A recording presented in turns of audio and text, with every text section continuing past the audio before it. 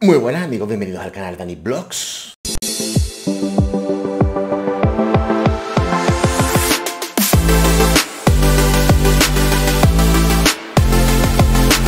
Muy buenas queridos amigos, bienvenidos todos vosotros al canal, al canal Dani Vlogs con V, pum pum pum pum pum. A ver cómo se ha quedado Gerard Romero después de decir estas palabritas que os voy a poner a continuación, quejándose y criticando a José Luis Sánchez. Joder, tío, es que no veas, ¿eh? Ay, ay, ay, como la canción, ay, ay, ay, Dios mío, tío. Pero ¿cómo te has quedado así tan pancho diciendo lo que acabas de decir ahora mismo en el programa de Jordi White, el podcast? Yo ya trinco el vídeo, lo pongo porque es que no puedo más esperarlo. Y hay un señor que se llama José Luis Sánchez que es un anticatalanista. Pero es show, o no, sea, no, es, no, no, no, no, no hay ningún- con él no hay ningún show. no es personaje. No, no, el personaje se lo ha comido a él. Sí, sí. Se lo ha comido. sí. Tú no podrías compartir cómodamente plató con. con, con- Bueno, es que yo no voy a ir nunca a ningún sitio donde esté ese señor. ta- tal cual. Sí, es que no vale la pena. Compartir con ese señor no vale la pena.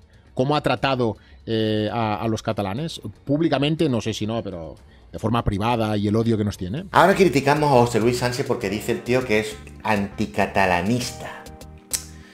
Anticatalanista, efectivamente. Y para eso, como estamos hablando de los catalanes y Messi jugaba en el Barcelona, ahora juega en el Inter de Milán y demás, me he puesto la camiseta del Inter de Miami, por supuesto, para acercar posturas.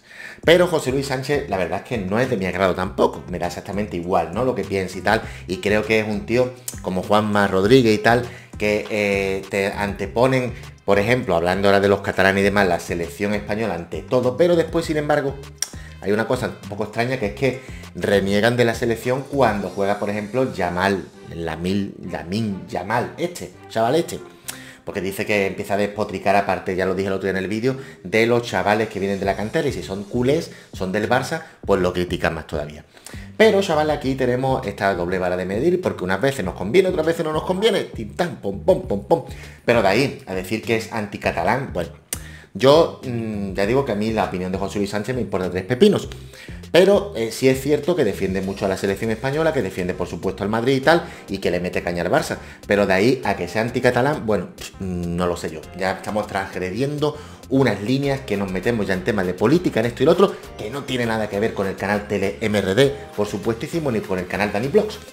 Pero os quería traer este extracto, este vídeo, para que vosotros opinéis en los comentarios y empezar aquí a hacer un debate, con respeto como siempre, pero si estáis eh, a favor de que este hombre tal o cual. Yo he hecho vídeos en el canal de mm, este de TeleMRD en TikTok, que os, recomiendo que os paséis. Y, chavales, eh, uno de los últimos que hice era hablando de José Luis Sánchez y unas cositas que había dicho, de esto de Yamal, por cierto. Y hubo mucha gente que me ha estado diciendo que José Luis Sánchez su ídolo, su ídolo, su ídolo, ta, ta, ta. Y mm, la verdad que no sabía yo que tenía tantos seguidores José Luis Sánchez, pero bueno, al parecer después de subir el vídeo parece que sí. Por lo tanto, ¿qué quiero decir con todo esto? Porque me dejé un comentario para mm, tactar un poquito aquí que se cuece por YouTube al respecto de este hombre. Y yo nada, chavales, yo os emplazo al siguiente vídeo. Espero que estéis contentos, que estéis todos muy bien, muy felices y nos vemos en el siguiente. Muchas gracias. Chao.